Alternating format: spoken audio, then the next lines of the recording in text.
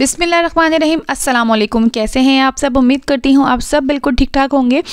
तो प्यारी प्यारी मम्मीज़, आज आप लोगों के लिए बहुत बहुत इंफॉर्मेटिव वीडियो लेकर आई हूँ स्पेशली वो जो कि अभी न्यू मॉम्स हैं, जिनके छोटे छोटे से न्यू बॉर्न बेबी हैं, वो बहुत परेशान हैं कि अब इन सर्दियों के मौसम में बच्चों को कैसे बचाया जाए। तो आज जो मैं आपसे रेमेडीज़ शेयर करने वाली हूँ, आप उनको अगर फॉलो करते हैं तो इन आप लोगों को अपने बेबीज़ को लेकर डॉक्टर के पास जाने की ज़रूरत बिल्कुल नहीं रहेगी। इन आप लोगों की सर्दियाँ बहुत अच्छे से गुजर जाएँगी और बच्चे जो हैं वो आपके हेल्दी रहेंगे। जो लोग चैनल पर न्यू है चैनल को जल्दी से सब्सक्राइब कर दीजिए। वीडियो पसंद आए तो वीडियो को लाइक कीजिएगा। पहली रेमेडीज़ यहाँ मैं स्टार्ट करने लगी हूँ। यहाँ मैंने ये देखिए एजवाइन ली है। अगर आप लोगों के न्यू बॉर्न बेबीज़ हैं तो आप लोगों के ये बहुत बहुत फ़ायदेमंद है और आप लोगों के पास इसका होना बहुत ज़रूरी है। अब आप ये देखिए, मैंने एजवाइन ली है और यहाँ मैंने एक कपड़े के अंदर ये सारी एजवाइन डाल दूँगी। और इसकी एक पोटली से बना लूँगी। आप लोग देख सकते हैं कि आप लोग कपड़ा जो है वो मलमल का कपड़ा यूज़ कर सकते हैं जो कि सॉफ्ट हो, क्योंकि हमें इस पोटली को बच्चे की स्किन पे यूज़ करना है तो कपड़ा जो है वो आपने बहुत ध्यान रखना है कि बिल्कुल सॉफ्ट होना चाहिए। अब मैंने यहाँ पे एक रबड़ की हेल्प से जो है वो इसको एक पोटली बना लिया है। अजवाइन जो है वो हमारे लिए बहुत फ़ायदेमंद है। इसकी तासीर जो है वो गर्म होती है। ये सर्दियों में बहुत बेस्ट वे है। आप इसे गर्मी में जो, सर्दियों में जो है वो पानी में मिलाकर भी यूज़ करें अगर आपके बच्चे बहुत छोटे हैं। अब मैंने यहाँ पे क्या करना है? मैंने एक फ्राई पैन लिया है और इसे मैंने गर्म कर लेना है। इसको मैंने गर्म करने के बाद इस पोटली को इस पर हल्का हल्का सा रखना है, इसको हल्का सा गर्म करना है, बहुत ज़्यादा हमने गर्म नहीं करना। और बच्चे के सीने पे हमने इसे सिकाई करनी है, पसलियों पे, सीने पे। अगर उसके सीने में जो है वो जकड़न है नज़ला है, सीने में से खरखर की आवाज़ें आ रही हैं तो आप लोगों ने इस तरह से अजवाइन का यूज़ करना है। इसको फ्राई पैन पे हल्के से सेकना है और बच्चे को रात में सोते टाइम जो है वो बच्चे को हल्का हल्का सा इससे उसकी सिकाई करनी है। ये बहुत बहुत फ़ायदेमंद है, आप लोग करेंगे तो आपको एक रात में ही फ़र्क महसूस होगा। यहाँ चलते हैं नेक्स्ट रेमेडी की तरफ़। यहाँ पे ये देखें मैं आपको ऑयल बनाना सिखा रही हूँ सर्दियों के लिए, जो बच्चों के लिए बहुत बहुत इफ़ेक्टिव होता है। और यहाँ पे जो लोग जो गलतियाँ करते हैं, वो भी मैं आप लोग को बताती हूँ कि आपने जो स्पेशली बच्चों के लिए यूज़ होने वाला ऑयल है, वो किस तरह से बनाना है। अब फ्राई पैन में जो है, मैं सबसे पहले जो है, वो हाफ़ कप ऑयल ले रही हूँ। ये सरसों का ऑयल है, जो रेगुलर हम सरसों का ऑयल यूज़ करते हैं, हमने वही लेना है। यहाँ पे मैं तकरीबन सात से आठ दाने इसमें लौंग ऐड कर रही हूँ। थोड़ी सी मैंने इसमें एजवाइन ऐड की है और दस से बारह जब जो मैंने इसमें लहसन के ऐड किए हैं। अब आप लोग देखिए, मैंने ऑयल को पहले रखा है, इसको मैंने कोई हीट नहीं दी, कुछ गर्म नहीं किया, मैंने सारी चीज़ें एक साथ डाल दी हैं और अब इसे पहले हमने अच्छे से मिक्स करना है और एक घंटे के लिए आपने इसको ऐसे ही छोड़ देना है। जी हाँ आपने फ़ौरन इसको पकने के लिए नहीं रखना, आपने एक घंटे के लिए छोड़ देना है और उसके बाद आपने जो है, फ्लेम को बिल्कुल स्लो करके इसको चूल्हे पर रख देना है। अब बिल्कुल ये स्लो आँच पर पकेगा। आपने बहुत ज़्यादा हाई स्पीड पे नहीं पकाना, वरना जो है ये लहसन एकदम जल जाएगा और ऑयल में जिस तरह से हमें चाहिए उस तरह से हमें ऑयल नहीं मिलेगा। तो आपने बिल्कुल स्लो आँच पे इसको रख के छोड़ देना है और अच्छे से मिक्स कर देना है। थोड़ी देर बाद आप देखेंगे कि तेल जो है वो पकना स्टार्ट हो गया है। और अब हमने यहाँ पर ये करना है कि इसको बहुत ज़्यादा नहीं पकाना, इतना नहीं पकाना कि ये बिल्कुल जल जाए, क्योंकि कुछ लोगों को मैंने देखा है वो यहाँ यही गलतियाँ करते हैं, वो तेल को इतना पकाते हैं, इतना पकाते हैं कि वो जल जाता है, अजीब सी उसमें से स्मेल आने लगती है। तो हमने ये चीज़ बिल्कुल नहीं करनी, हमने ऑयल को जलाना नहीं है, आपने इसको स्लो आँच पे जो है वो कम से कम 20 से 25 मिनट पकाना है, और आप ये देख सकते हैं कि लहसुन का कलर जो है वो चेंज हो गया है। तो बस हमें इसका कलर चेंज करना है, बहुत ज़्यादा इसको पका के जलाना नहीं है। अब मैंने क्या किया था कि मैंने इस फ्लेम को बंद कर दिया था और जो बाकी का थोड़ा बहुत लहसन था वो उसी में ही छोड़ दिया था।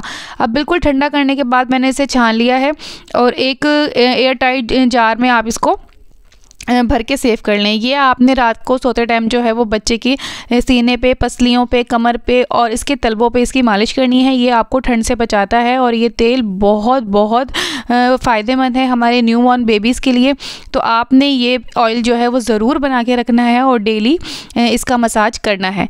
ये आज की थर्ड जो रेमेडी है वो मैं आपको यहाँ बताने लगी हूँ। अगर बच्चे को ठंड लग जाती है बच्चे को फ्लू हो जाता है, इसके सीने में खरखर की आवाज़ें आती हैं तो उसके लिए छोटी सी रेमेडी है, मगर बहुत इफ़ेक्टिव है। यहाँ मैंने एक जायफल ली है, आप लोग देख सकते हैं जायफल, जो हम खानों में यूज़ करते हैं, उसको मैंने तोड़ के थोड़ा सा गीला कर लिया है। यहाँ पे इसको अच्छे से गीला करने के बाद मैंने कोई भी हम पत्थर ले लें या कोई सिल का बट्टा जैसे हमारे घरों में होता है, उस पर आपने इसको अच्छे से रगड़ना है।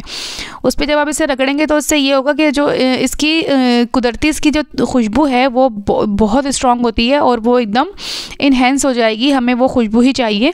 आपने इसको अच्छे से रगड़ने के बाद बच्चे के हाथों पाँवों के नेल्स के ऊपर इसको लगाना है। इससे जो है बच्चे को, ये बच्चे को सर्दी से बचाता है और ये इस चीज़ के लिए बहुत इफ़ेक्टिव है ख़ास तौर पर जब बच्चे को नज़ला होता है तो आपने दिन में तकरीबन दो दफ़ा जो है वो ये लाजमी करना है जायफल को इस तरह से मसल के और आपने बच्चे के पाँव और हाथों के नेल्स पे इसको लगा देना है। इससे बच्चा जो है वो सर्दी से महफूज रहेगा और नज़ले में इसको बहुत बहुत आराम मिलेगा। ये सारे टोटके जो हैं वो मैं ख़ुद अप्लाई कर चुकी हूँ, इसलिए मैं आप लोगों के साथ शेयर कर रही हूँ। आप लोग भी इसको अप्लाई करेंगे तो इन शाला आप लोगों को बहुत फ़ायदा होगा। और आप लोग इतने छोटे बच्चे को डॉक्टर के पास लेके जाने से परहेज़ करें, क्योंकि इतने छोटे बच्चे को हम डॉक्टर जो हैं वो एंटीबायोटिक देते हैं, जिससे बच्चे के लिए जो बच्चे के लिए नुकसानदेह होती है। अब यहाँ की जो चौथी रेमेडी है, ये भी बहुत बहुत ज़बरदस्त है। अक्सर जो छोटे बच्चे होते हैं, उनको ठंड बहुत जल्दी लग जाती है और नमूनिया का शिकार स्पेशली जो बच्चे हो रहे होते हैं, नमूनिया की तरफ़ जो जा रहे होते हैं तो पहला टोटका आपने ये करना है कि आपने लेनी है हींग। हींग का आप सबको पता होगा, ये इजीली आपको पंसारी की दुकान से मिल जाती है। हम यहाँ हींग लेंगे, इसकी स्मेल जो है वो बहुत बहुत स्ट्रॉन्ग होती है। ज़रा सी आप लोग लेंगे तो इसकी स्मेल जो है वो बहुत तेज़ होती है। तो पहले तो मैं छोटी सी टिप आपको यहाँ ये बता दूँ कि अगर बच्चों के पेट में दर्द है और बच्चे बच्चा रो रहा है तो आपने पानी में मिला के हींग जो है वो उसके पेट पे लगा देनी है और उसको किसी हल्के से गर्म कपड़े को ले, से लेकर उसके पेट पे सिकाई करनी है। तो इन जो है वो बच्चे का पेट का दर्द बिल्कुल ख़त्म हो जाएगा बहुत फ़ायदेमंद होता है। अब दूसरा मैं आप लोग को यहाँ ठंड से बचने के तरीके बता रही हूँ तो मैंने यहाँ पे हींग को गर्म पानी में थोड़ा सा थोड़ी सी हींग ली है। मैंने यही इतनी सी हींग जो है वो काफ़ी है हमारे लिए। इसको मैंने गर्म पानी में लेके थोड़ा सा जो है वो मैं इसको इसमें मैश करूँगी। अच्छे से ये इसमें ऑब्ज़र्व हो जाएगी। अब यहाँ मैंने पान का पत्ता इसलिए लिया है क्योंकि हम लोग सबसे जो मेन है कि वो बच्चे की जो पसलियाँ चल रही होती हैं तो ये उसके लिए मैं रेमेडी बना रही हूँ। अब मैंने यहाँ पे ना इसको अच्छे से मिक्स करना है फिंगर से और इस पत्ते के ऊपर इसका पूरा लेप करूँगी।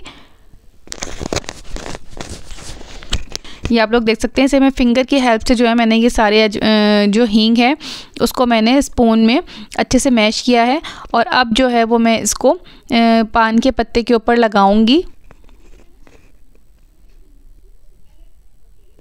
हींग जो है, ये ये भी बहुत बहुत इफ़ेक्टिव है। स्पेशली सर्दियों के मौसम में जो है, बच्चे को हींग थोड़ी सी खिलाई भी जाती है।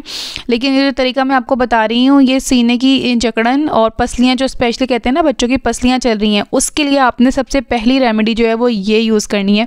अब मैंने सारी हींग को जो है, वो इस पान के पत्ते के ऊपर लगा दिया है और इसे मैंने जो इसका पानी था, वो भी मैं इसके ऊपर लगा दूँगी और हर तरफ़ जो है, वो इसको अच्छे से फैला दूँगी। अब हमने इसको तकरीबन 10 मिनट के लिए ऐसे ही छोड़ना है, ये थोड़ा सा ड्राई हो जाए, क्योंकि बहुत ज़्यादा ठंडा ठंडा आपने बच्चे के ऊपर कोई भी चीज़ नहीं रखनी है, क्योंकि ये मैंने गर्म पानी यूज़ किया है, मगर फिर भी ये बच्चे के लिए नुकसानदेह हो सकता है।